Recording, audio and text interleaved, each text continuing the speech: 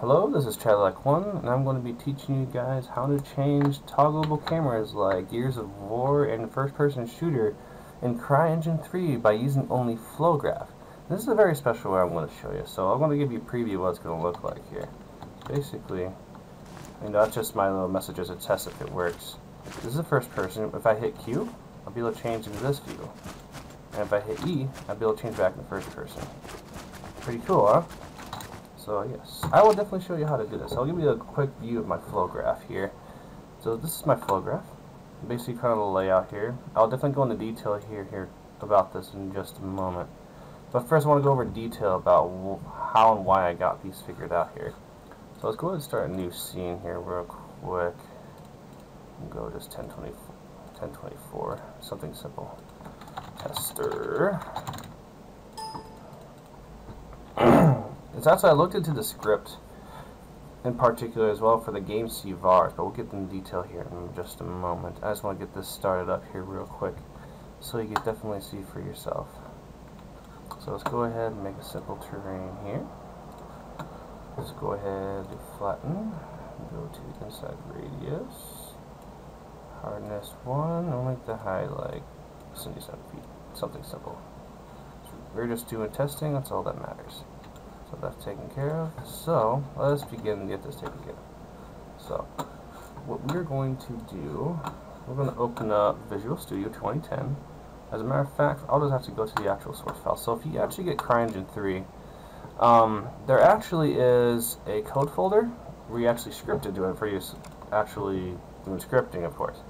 And you gotta go into the solution. I'm going to show you where you can actually find the uh, the actual file here. So you're going to see something like this. It's in CryGame. That's where you're supposed to script into it. But if you actually look into the game files, you could um, go all the way to gamecvars.cpp, which CPP means C++, if you didn't know. And you scroll all the way down here. There's a bunch of uh, register CVARs and a bunch of, let's see here, we're going to look up the, for the console settings.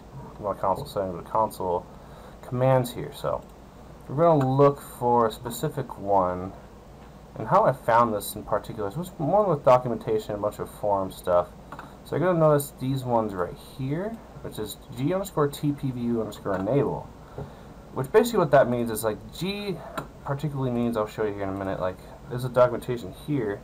G basically means game. I mean, that's just kind of like the prefix of it, but uh, that's basically what it is. So basically, TP view means third person view, and enable and I'll show you how to actually get that working here in a minute. And to Goc means um, Gears of Crysis. Basically, it's like you know, like a Gears of War perspective view from the camera. That's basically what he could do, and also he actually edit the X, Y, and Z of the camera. Meaning, what he could do with that is adjust. Say if your camera is like, oh, it's too far to left, too far to right, or too far away, too too far up. You can adjust all those axes of that camera. So let's go ahead and um, I'll put this aside here real quick, and I'm going to show you how you do it in the flow graph. So what we're going to do, we're going to go to View, Open View Pane, and go to Flow Graph. And what we are going to do, we're going to create a new flow graph, and we are going to do this. We're going to go to Start, because you want this to actually begin at the start of the game. And then there's this new thing called, let's take a look here, I think it's under System. Yes, it's called execute string. Basically what we want to execute is these strings that we see here, the g underscore tpview enable. Basically we want to be able to toggle this on and off. As a matter of fact, I'm going to show you what it does before we go any further. So let's go ahead and do the console command here. Oh man, that's already actually began already on it. So I'm going to have to unopen this flow graph here quick. I want to do that real quick. Get rid of that. Let's go ahead disable. There we go. So, I'll make sure that works now. Yep, there we go. So, basically if you write, type in g underscore tp view enable, and you gotta put equals 1. That's what enables the TP view. You put that in, boom, we got our third person view. And that's how you do it. And you also do the same thing with the goc underscore enable equals 1.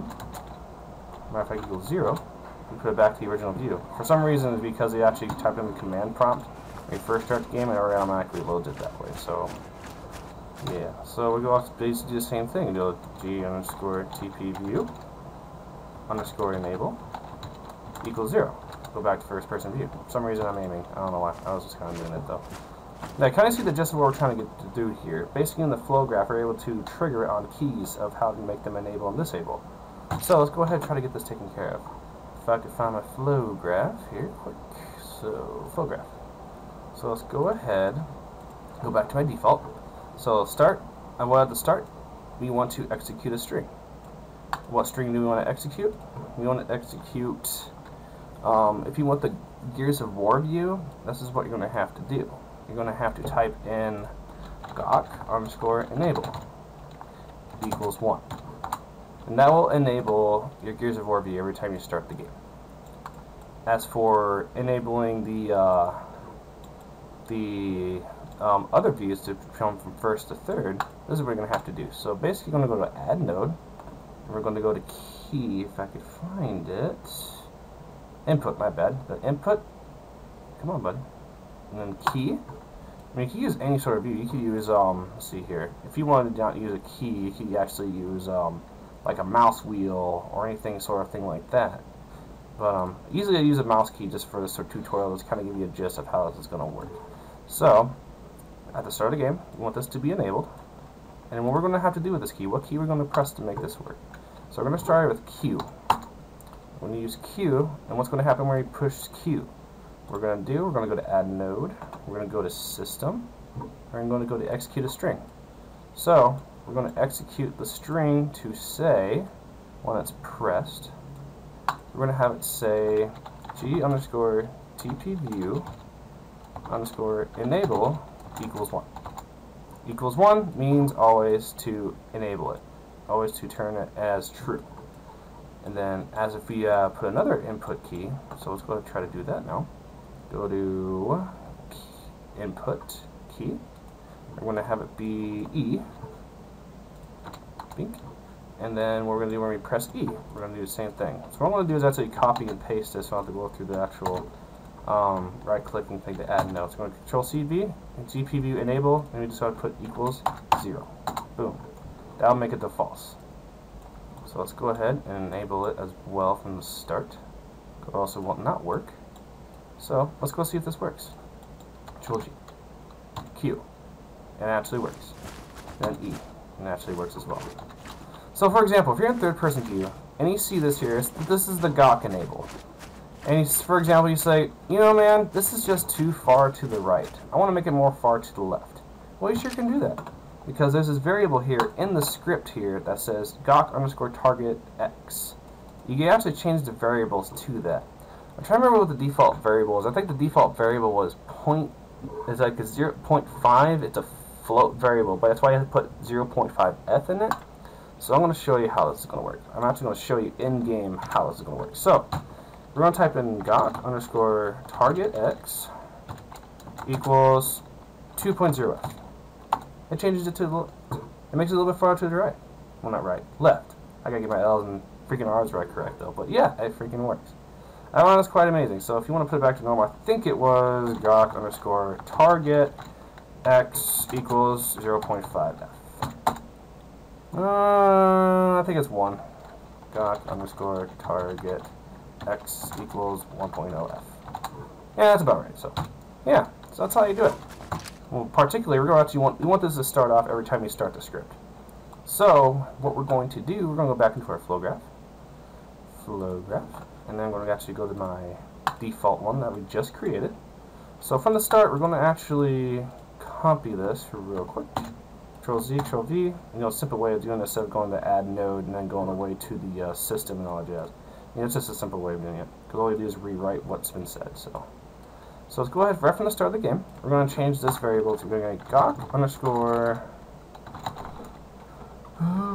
Sorry about that. I had a long day. Goc underscore target x equals 2.0f. Boom. Right from the start.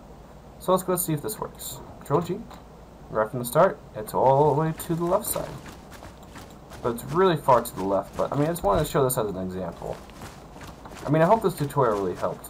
I mean, because I've seen a lot of people having trouble with camera views. I mean, I've seen, I mean, there's Richmar, number one Richmar. He's a cool guy. I mean, he has a lot of cool videos. I mean, I don't know. I just wanted to show something a little bit simpler that I could do in Flowgraph. So like, oh, I need to script stuff. I mean, I don't know how to do it because of C++. I mean, it is difficult, but it's not so difficult. I mean, there's some things you just look into, like, hey, I just want to kind of play around with it in the Flowgraph, make things work, you know, console commands, stuff like that, and it works. I mean, yeah, there's also the goc mode. There's also that, but, I mean, the only thing I don't like about it, I'll show you here in a moment. If they put in goc mode, when you aim, it's all like slow motion. But it's kind of cool, but I don't know. I don't want to have it all the time, though. That's why I always use, that's why I did the method that we did today. But anyways, I hope you enjoy my video. I mean, subscribe if you want, and I'll be posting much more videos here in the future. Thank you for watching.